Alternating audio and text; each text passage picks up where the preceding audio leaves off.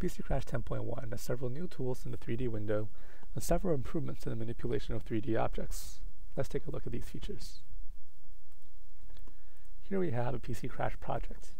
We have a road, a car, and several 3D object trees. The first new feature can be found in the 3D uh, visualization window. New in PC Crash 10.1 is the ability to save camera positions. By simply going to the View menu and Save Camera, we can define, we can save this precise camera location. So we'll name this Front View for the front view of the car, and we can save we can manipulate, we can navigate to the right side of the vehicle and repeat the process. And again, maybe for the rear.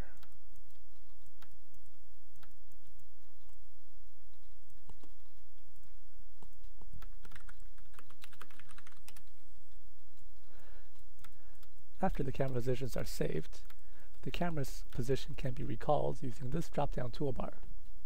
So here we have the front view, rear view, and right view.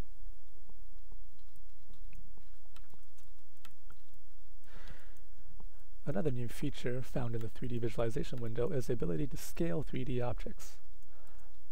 Uh, we can scale by using going to the option menu and scale. And we can, for example, scale this tree. So after the bounding box appears, we can drag any of these corners or these uh, green boxes to uh, either move or scale. If, for example, the tree is should be bigger and wider, we can make a so.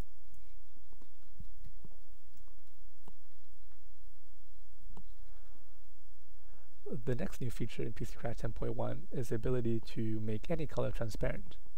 In previous versions of PC Crash, only the light blue color would show up as transparent. Now any color vehicle can be transparent. This can be done by going back to the 2D window, going into right-clicking and going to Options. Under the Colors tab, we have our first vehicle, and we can simply click Show Transparency. We can also change the amount of transparency. We can change this to 90% hit apply, and OK. And now we see the vehicle is transparent. Again, going back into the 3D window, we see the vehicle is transparent.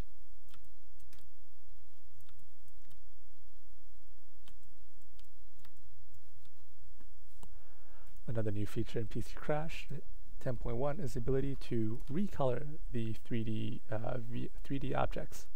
So in this example, I'll be recoloring this vehicle. So again, we'll go into Options, under Colors, under our first vehicle, and here in the 3D Models uh, breakout box, we can change the colors of the wheels and tires, or even the vehicle itself. So in this example, I'll be changing the color of the interior of the vehicle from gray maybe to blue. Once that is done, hit apply, and then OK.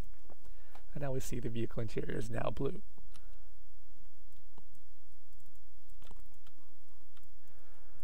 This new tool can be used to more closely match uh, cars and objects in real life.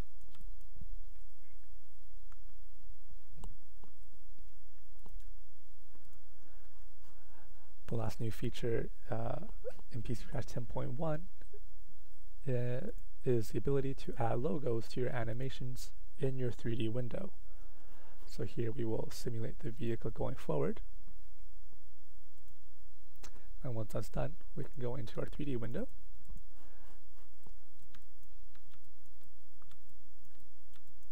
And under the View Display Options menu, we can see that we have the ability to add new logo images the images can be added to uh, any location found in the 3D window. We will do uh, right top, and we see a new logo is added. And when we play the animation, the logo is permanent.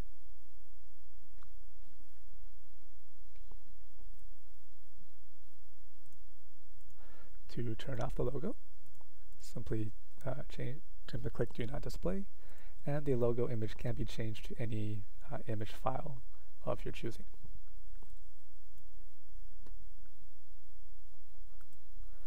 Thank you for watching. That is the new 3D improvements found in PC Crash 10.1.